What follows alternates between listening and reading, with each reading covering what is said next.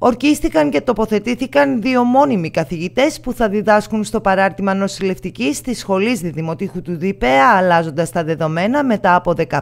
χρόνια λειτουργίας του Ιδρύματος. Αυτό ανακοίνωσε σήμερα στην Έρτορε Εστιάδα ο επίκουρος καθηγητής της σχολής Κώστας Βαφιάδης, σημειώνοντας ότι η τοποθέτησή τους πρόκειται να γίνει τη Δευτέρα και αυτό αλλάζει πλέον μια απεσιόδοξη κατάσταση που επικρατούσε τα τελευταία τρία χρόνια. Ο κύριος Βαφιάδης πρόσθεσε πως είναι ιδιαίτερα ενθαρρυντικό το γεγονός ότι οι νέοι καθηγητές που προέρχονται από τη Βόρεια Ελλάδα και που έρχονται μετά από τις άοκνες προσπάθειες της Προέδρου του τμήματος κυρίας Μινασίδου θα έχουν χρόνο να διδάξουν τα μαθήματα που δεν είχαν διδαχτεί οι σπουδαστές μέχρι τώρα για τα οποία διαμαρτύρονταν τελευταία. Πεποίθηση του ίδιου είναι ότι η τοπική κοινωνία θα πρέπει να στηρίξει την έλευση των καθηγητών, αλλά και η Δημοτική Αρχή θα πρέπει από τη μεριά της να κάνει τις παρεμβάσεις εκείνες που θα διευκολύνουν δελεαστικά την παραμονή τους. Οι δύο παράμετροι των μόνιμων καθηγητών και της κάλυψης των μαθημάτων απομακρύνουν την αβεβαιότητα των σπουδαστών που δεν ήρθαν, δημιουργώντας ευίωνες συνθήκες λειτουργίας της σχολής στο μέλλον. Το γεγονός δε ότι δεν υπάρχει θεσμοθετημένη σχολή νοσηλευτική στο Δημοκρίτιο Πανεπιστήμιο Θράκης κάνει ακόμη πιο επιτακτική την ανάγκη λειτουργίας της σχολής στο Διδημότυχο, διότι υπάρχουν ήδη 220 φοιτητές που θα πρέπει να συνεχίσουν τα μαθήματά τους. Να προσθεθεί ότι το καλοκαίρι θα έχουμε την ορκομοσία φυτών αμυγός πανεπιστημιακής εκπαίδευσης από τη σχολή. Όλα αυτά δεν θα πρέπει να μας απομακρύνουν από τη συνολική διεκδίκηση ετοιμάτων, όπως τη μείωση στο 0,8 της ελάχιστης βάσης εισαγωγής, αλλά και της βελτίωσης των χώρων διδασκαλίας που μαζί με την παρουσία των καθηγητών θα αλλάξουν την αρνητική εικόνα που υπήρχε μέχρι σήμερα.